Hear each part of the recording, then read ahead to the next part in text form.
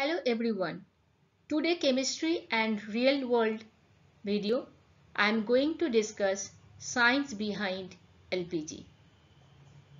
LPG means liquefied petroleum gas which is also known as compressed gas. When petroleum gas is compressed it becomes liquefied and that is known as LPG. LPG can explain various properties of gaseous particles. What is petroleum gas?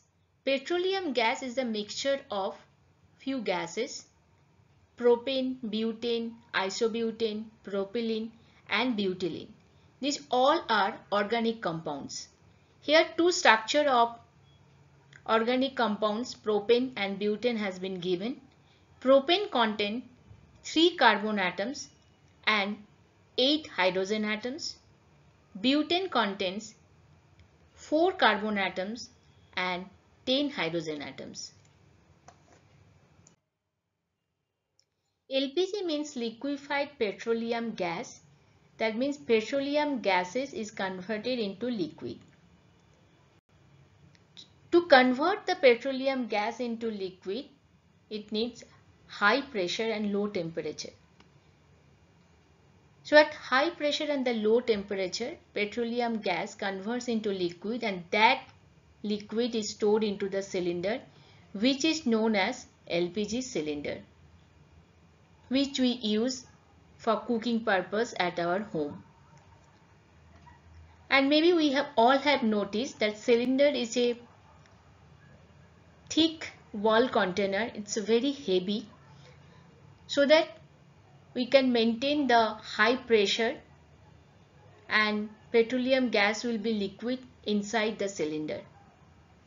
Now when we open the knob in the cylinder, the liquid immediately converts into gas because it released from the high pressure inside the cylinder to the atmospheric pressure.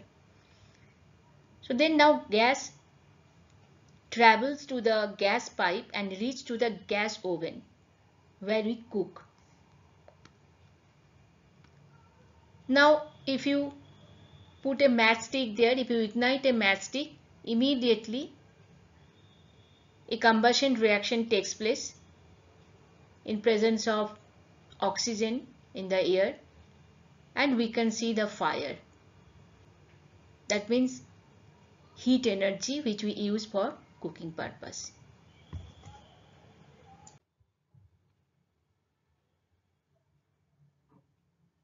So we have to remember that we use the gas or vapor of the LPG. We are not using the liquid which is stored in the cylinder. In the cylinder, gas is converted to liquid at high pressure and the low temperature and then when you release the pressure the liquid converts into gas and then we use that gas and gas converts into heat energy when we ignite it. From LPG concept we can easily understand that gas is highly compressible than liquid and solid. We also can do simple experiment at home using a syringe to explain that gas is highly compressible than liquid and solid. We have to take three syringes and close this point.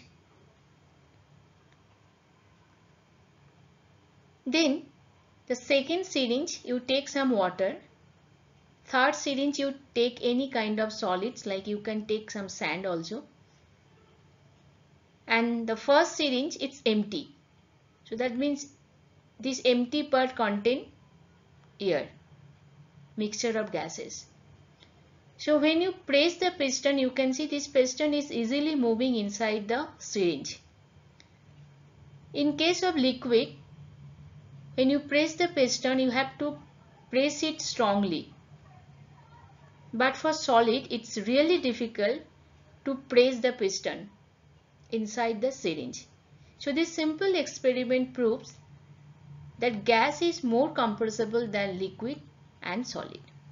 So compressibility is one of the properties of gaseous particles. So from these properties we again we can conclude that gas particles are not associated with each other. The intermolecular forces between the gas particles are very less. That's why they are easily compressible. So now what is the take home points from LPG? Gas can be liquefied at high pressure and low temperature. At low pressure and high temperature, liquid converts into gas and gas is compressible because intermolecular forces between gas particles are negligible. I hope from this video you understand how chemistry is connected with the real world. We can take any real world example and we can explain the properties of different states of matter. If you find this video is helpful for your study, then subscribe my channel Chemistry Affinity and share it with your friends. Any chemistry related query you can contact me to this email id chemistry.affinity at gmail.com. Thank you for watching it.